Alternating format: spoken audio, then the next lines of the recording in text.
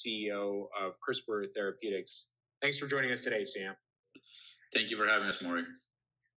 So we're going to do a fireside chat format. And um, if anyone in the audience has questions, feel free to email me. Um, but maybe to start off, Sam, if you want to give a brief intro to CRISPR to those who may not be familiar with the story. Happy to do that, Maury. Uh, and nice to speak with everyone. Um, CRISPR Therapeutics is a company based on the on access to the revolutionary CRISPR technology, which you all saw won the Nobel Prize in chemistry this year. Um, very early on, um, we recognized the potential of this technology uh, to revolutionize medicine, and uh, we set up CRISPR Therapeutics with the with the goal of creating transformative therapies for serious diseases like sickle cell disease, thalassemia, cancers, uh, and even more common diseases such as diabetes, where we can have a serious impact. In the um, five years after starting a brick and mortars establishment and setting up our operations in Boston, we've moved very quickly and are at the cutting edge of this uh, wave of cell and gene therapies, uh, where we brought a number of programs to the clinic. We currently have four different programs in clinical trials across six different indications, uh, and we're progressing all of them rapidly. Uh, we were very encouraged last year when we showed the first glimpse of data uh, for sickle cell and thalassemia, uh, where we showed that the first patients treated with uh, our CTX001 medicine um, showed a tremendous benefit uh, and showed hints of a potential cure after treatment with CTX001. We have since followed up with data at uh, EHA conference uh, earlier this year, uh, and uh, we'll have data at ASH, which um, show show the you know the that this medicine CTX001 can be um, the the uh, curative approach, but also best in class within uh, these indications. Um, I'm sure we'll talk about it, but we also showed data for our from our immuno-oncology trials with our CTX110 program, which look very promising. I'm happy to dive into those. But overall, uh, as a company, we've grown dramatically in the last five years uh, to set up uh, preeminent capabilities. We've brought a number of programs to the clinic with promising early data. We have a number of additional data disclosures coming up, uh, one almost every few months over the next two years, uh, and are set up nicely to um, to to advance not one but multiple programs, hopefully um, through the registration, and ultimately provide that to patients uh, where there's great unmet need. Great overview. And um, for CTX001 and beta thal and sickle cell, um, maybe if you can just talk a little bit more about the approach there and recap data that's been uh, reported so far, the latest cut at EHA. Yeah, happy to do that. I think um, you know one of the big advantages of CTX001 is it relies on nature's mechanism. The underlying thesis for our approach in treating thalassemia and sickle cell is to overcome the defectiveness or deficiency of the beta globin gene, which is a subunit of adult hemoglobin, by elevating fetal hemoglobin. We're all born with fetal hemoglobin, but through nature's own mechanism, fetal hemoglobin is turned off about six months after we're born and replaced with adult hemoglobin. It turned out in many population studies that there were families around the world that had a naturally occurring mutation where the fetal hemoglobin was never turned off. And even though they had the genetics of sickle cell or thalassemia, were asymptomatic or normal we're basically leveraging nature's mechanism or this finding in nature to recapitulate or those mutations that were observed in nature to elevate fetal hemoglobin or simply turn the switch back on on fetal hemoglobin. And when you do that, uh, the fetal hemoglobin overcomes, um, in, in, the case of thalassemia, the deficiency of beta globin or adult hemoglobin. And so patients are not anemic anymore and don't require transfusions.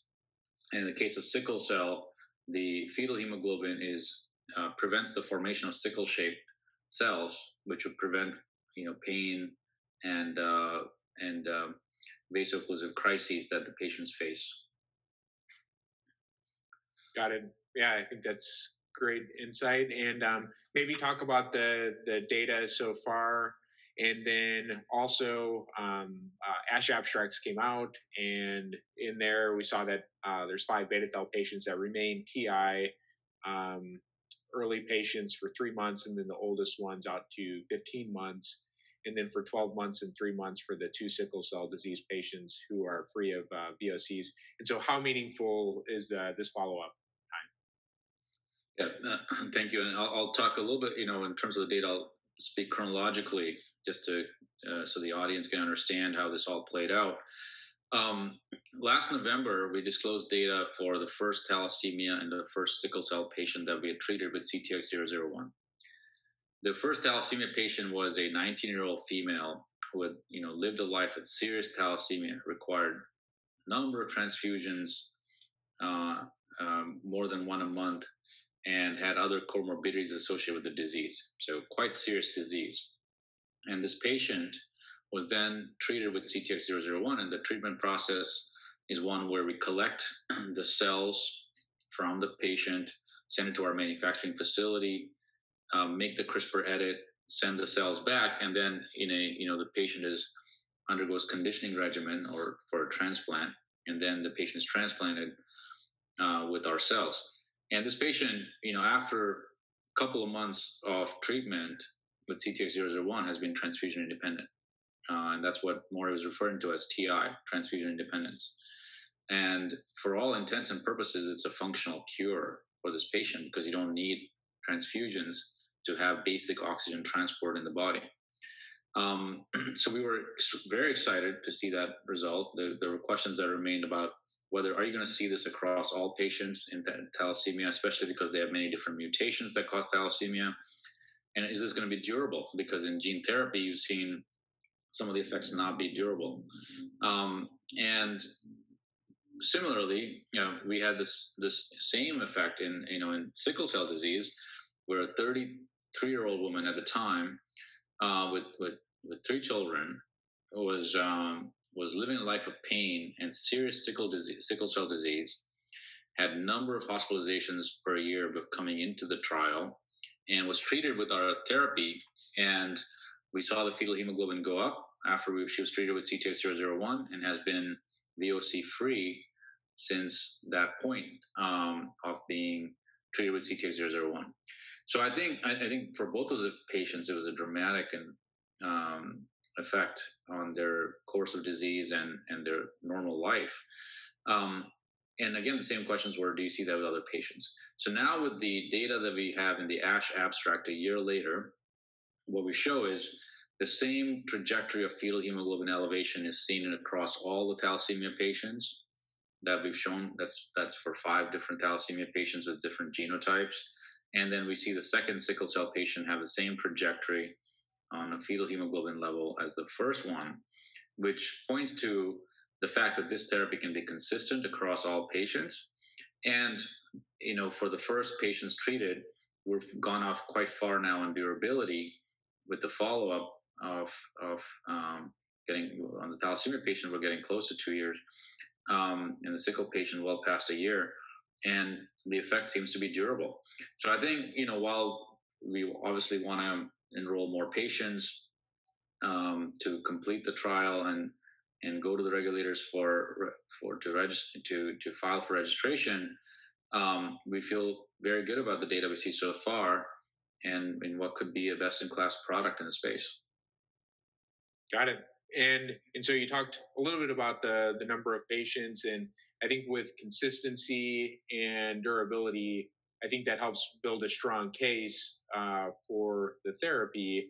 So when you go to FDA, um, I guess, uh, are your thoughts on having 45 patients per trial? Is that still the number that you think would be sufficient for approval, or do you think it could be less than that? Well, uh, we designed a trial uh, for up to 45 patients, not knowing what the effect is going to be. Um, but if, if we see almost every patient reach transfusion independence and almost every sickle patient becoming VOC free, I think an argument can be made that we don't need to see it for the effect in 45 patients. It could be a smaller number. Uh, in fact, you've seen Bluebird get a European authorization with a much smaller number than that for thalassemia.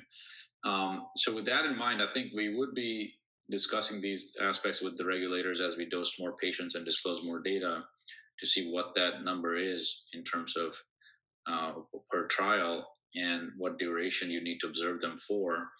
And um, you know, if the data continue to play out the way uh, we see so far, I think you would you can make a strong case for having a smaller cohort of patients as sufficient for the registrational data set.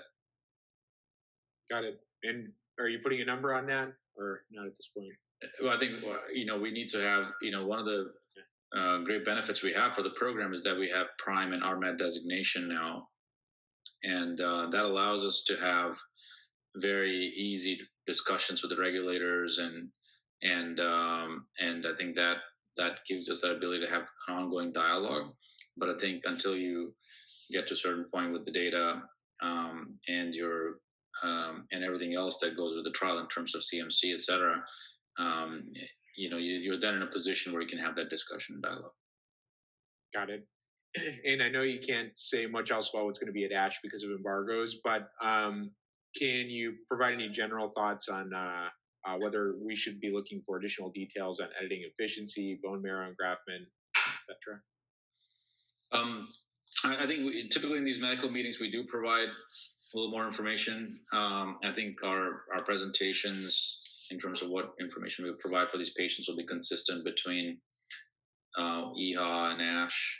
Um, so you will get some of these details uh, around each of the patients and their uh, editing levels and fetal hemoglobin, et cetera. Great. Okay. And then for the studies, can you tell us how many patients have been dosed and should we um, expect additional updates in first half of 2021?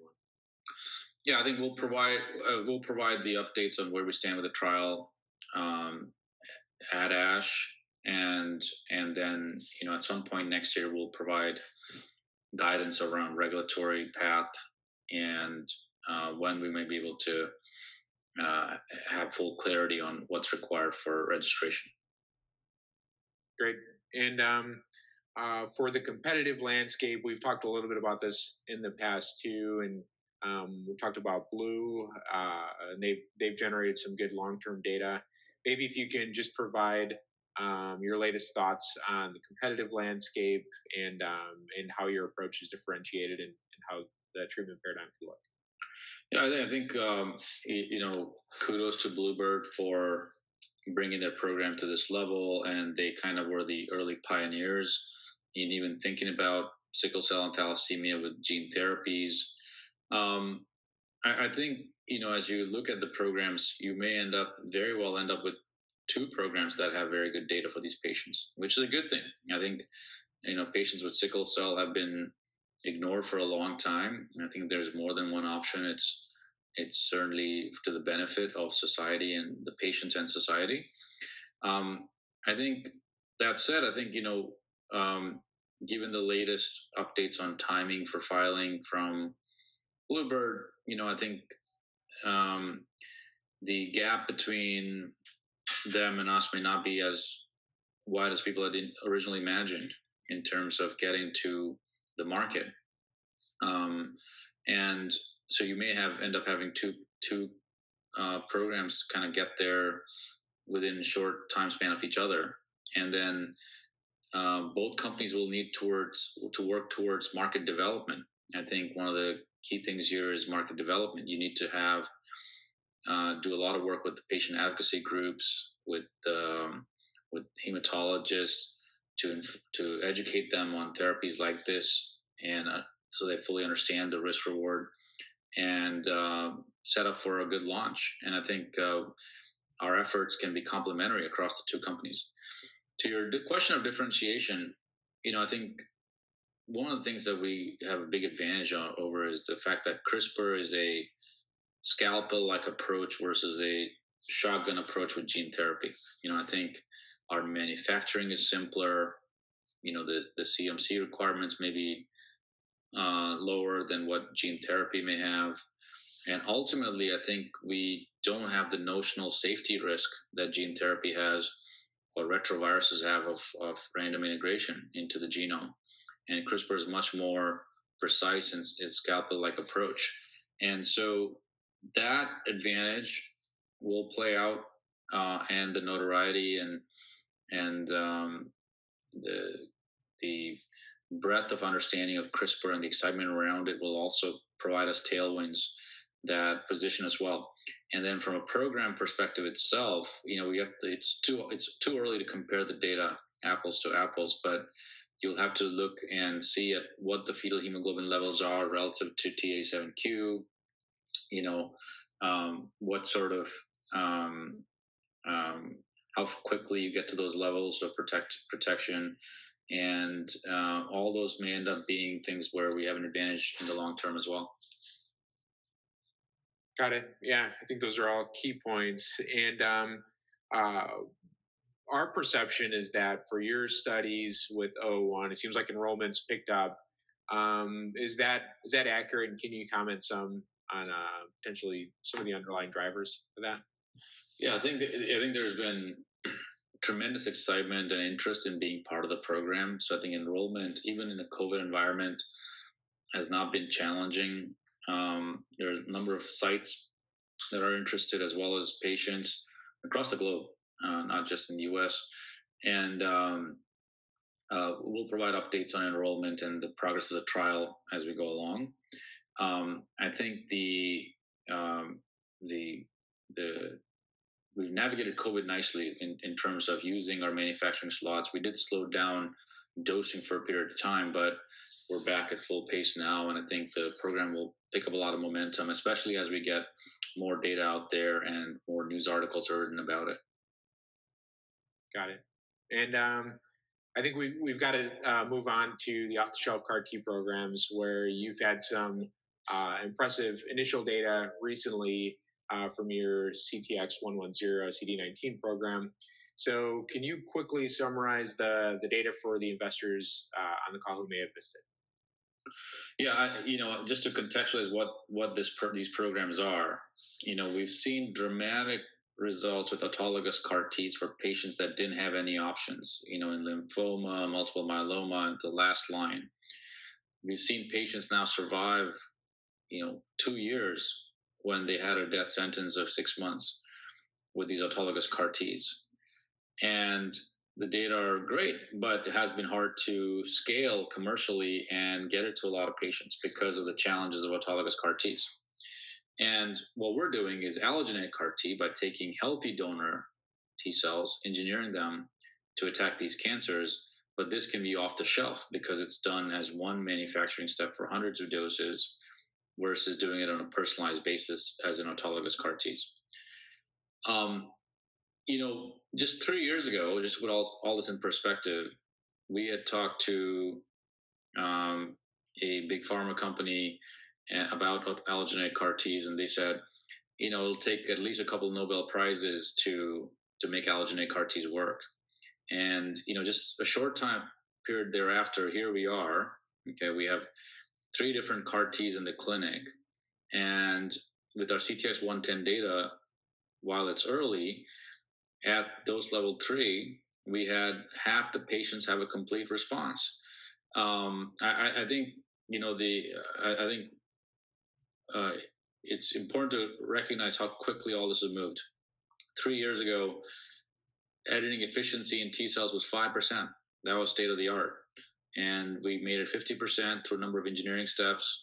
We've now gone from the ability to edit one or two genes to 10 genes now at manufacturing scale with CRISPR.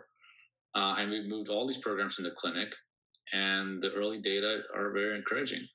And I just think this is going to build on itself over time because, um, you know, we, we still have a question of whether these these responses are durable, and we need to see that. But the fact that these the responses were dose dependent, the fact that um, they were generally safe until DL3, and uh, and the fact that you can redose with these therapies gives us a big advantage over autologous therapies, and in fact, a big advantage over uh, even bispecifics because bispecifics, you know, have lower improvement potential relative to allogeneic therapies. once you have a chassis with allogeneic therapies, you can make more edits, and I bet the next version and the next version are going to be better and better. And every three years, we'll have a new version come out, just like iPhones and Samsung. Um, and they're they're going to be based on what you see in the trials, and they're going to be better than the last one. And um, I have firmly believe that allogeneic cell therapies are going to be frontline therapies in uh, heme malignancies and potentially even in solid tumors. Got it. Yeah, and maybe talking about some of the uh, technical observations that you've seen with um, 110 for um, peak T cell expansion. I don't know if you can provide any more perspective on, on what you're seeing there. And uh, with your particular approach, you've got the uh, B2M knockout, and it's a mix of uh, uh, cells that are mostly B2M knockout, but you also have some that have B2M intact. So maybe if you can talk about a little bit more about that as well. Yeah, happy to. I think I think what we saw, you know, it's very important to track the pharmacokinetics of these T cells to understand how allogeneic CAR Ts are working. Now, there's an assumption that allogeneic CAR Ts will work the same way as autologous CAR Ts, but it may or may not be true. Um, but what we're learning so far is, you know, there is uh, dose-dependent expansion. You know, you know, as we go to higher doses, the you know the the peaks that you see around day 10 for these cells seem to be higher with higher doses. Okay, which makes sense because if you saw dose-dependent responses, but but you didn't see a greater number of T cells at higher doses or CAR Ts at higher doses, it wouldn't make sense. So you are seeing dose-dependent uh, peaks with these with these CAR Ts. Um, and what's remarkable is you're seeing that these CAR Ts seem to persist for a long time. And uh, the beta 2M edit, the thesis behind the beta 2M edit was that that would prevent the host T cells from eliminating these CAR Ts, and that you would have longer persistence. And um, while they're not at high levels later on, but they certainly seem to be detectable, well, well far out. You know, in the first one of the patients, it was six months out, um, where we had the data to the longest extent. And uh, so we'll learn more about you know how the expansion kinetics correlate with different tumor you know different tumor types in the long run but also within with tumor burden and with uh, other patient characteristics and also with responses um, and we hope to put all that together when we present data the next time around in a major medical meeting got it and uh, for those the cells that were detected six months out. So those are B2M cells, and that's from a blood sample from the patient. Uh, we haven't disclosed the the the ratio of the beta 2M positive versus beta 2M negative cells when we said they're detected far out. Uh, we are collecting all that data. It's it's you know when you um, you need very sensitive assays to detect that distribution, but our hypothesis is uh, they'd be the beta 2M negative cells that, that persist that far out. Got it. Interesting. And um, maybe another technical question. What are your thoughts on uh, B cells and their involvement with this approach? Um, is that something that you guys are interested in? And um, uh, it'd be great to hear your insights. You mean B cells as a as a vehicle as synergistic with T cells in killing cancers, or do you mean B cells uh, uh, as in as as they come back uh, after B cell aplasia? After B cell aplasia. Yeah. Yeah, I think I think those are all all things we're we're looking into. Um, and I think you know in, in the autologous CAR T setting, obviously uh, B cell aplasia was an important marker to see how durable the effect is. Um, and so we're tracking that with our with our therapies um, and um, understanding of it as we go along. Got it. Okay. Um, and based on what you've learned so far, um, are there any adjustments that you're planning on doing to this study uh, in respect to conditioning regimen um, or doses at all?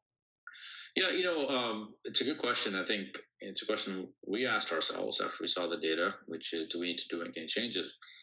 And after a lot of thought, we, we, we don't think we need to make any changes here. I think what we have are very encouraging uh, responses.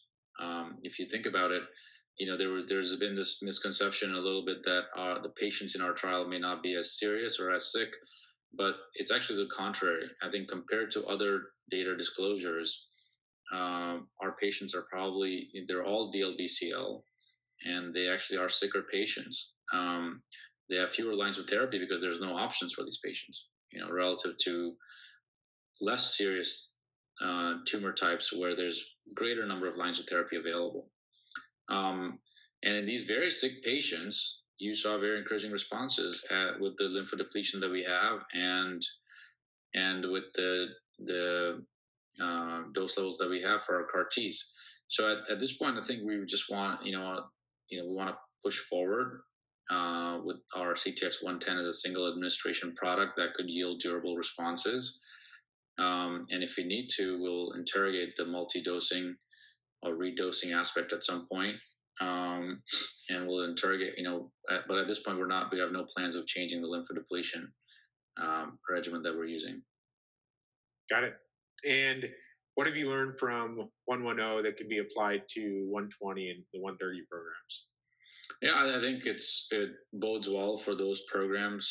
You know, the data that we saw with 110. I think you know if if you believe that there's a dose response with these CAR Ts, as we get to higher dose levels with 120 and 130, uh, we should hopefully see similar effect. But um, it's still early in those trials, um, and at this point, you know, 120 obviously, you know, very likely to behave very similarly to 110. It's a heme malignancy. Um, it's similar construct. 130 has an additional edit on top of 110 on, over what 110 and 120 have, and um, there's bound to be an effect of the additional edit. So it'll be interesting to see how 130 behaves in both heme malignancies as well as solid tumors.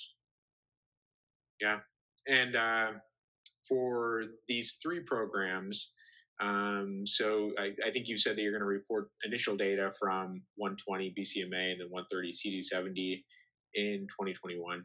Can you talk about uh, what we should be expecting for those initial updates? Yeah, I think you know typically our model has been the initial update from the programs are have been company updates because it's hard to line up the timing always with medical meetings. Um, but um, you know, and then the subsequent updates are always with you know at, at conferences or major medical meetings. So I think we'll follow that paradigm. We'll probably have an update for both 120 and 130 at some point next year. We haven't said when, and then we'll follow that up with uh, more detailed updates that include all the data on pharmacokinetics um, and the um, further characterization of the CAR Ts. Got it. And um, maybe for CD70, so you talked about uh, a little bit about that program. Um, I think the the study looking at solid tumors is really interesting. Uh, maybe if you want to talk about the the implications of getting this first um, off the shelf CAR T to work in solid tumors and longer term implications of that. Well, I would say more than that. It's the first evidence. It would be the first evidence of a CAR T working in solid tumors, right? Know, I think one of the things that we've had with autologous CAR Ts even is they've had very minimal effect in solid tumors because of the tumor microenvironment, and uh, while there's been stray evidence here and there, there hasn't been a, a, a, you know a construct of an autologous CAR T that's shown major impact in solid tumors. And if we can show CD70 allogeneic CAR T having any effect in solid tumors, I, I think that's a major, major milestone, not just for us as a company, but for the entire field of cell therapies. Um, and not surprisingly, there is you know a lot of value ascribed to CD70, albeit early in our in our portfolio around a target that could have major impact, uh, not just from a target standpoint, but from a uh, from its entirety as a program in opening the door for cell therapies in solid tumors. Got it. And Sam, uh, you've talked a little bit about the uh, collaboration with ViaCyte. You mentioned that regulatory meetings in the U.S. and EU are ongoing. Any key takes from from these meetings at this point you can comment on? No, I think you know we've had enough meetings now. You know, typically we don't put out a IND timeline unless we're very confident that we can hit that. Um, and uh, in this case, we've had enough regulatory meetings to understand the requirements, and we believe that we can file an IND next year um, and start clinical trials shortly thereafter.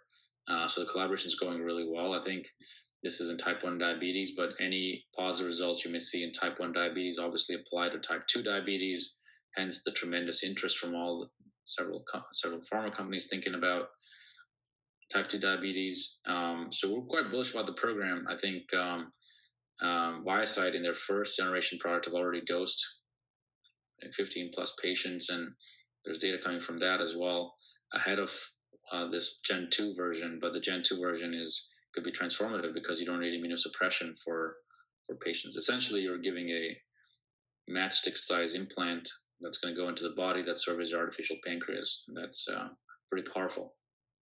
Yeah, it's really interesting. And I think it's a key point that this isn't starting from scratch. This is a second gen. And so there's a lot of work that's already out there.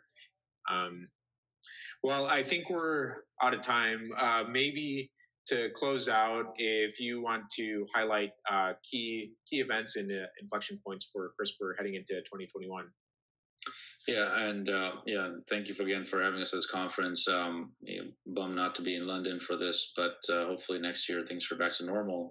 Uh, we have you know a number of milestones coming up. I think our data, additional data for 110, new data for 120 and 130, and obviously the most near term thing is additional data at ASH for 001. All position us well in terms of value creation and, and inflection points uh, in our trajectory uh, to become the next Genentech. Awesome. Well, Sam, uh, it's great speaking with you. Thanks again for joining us today.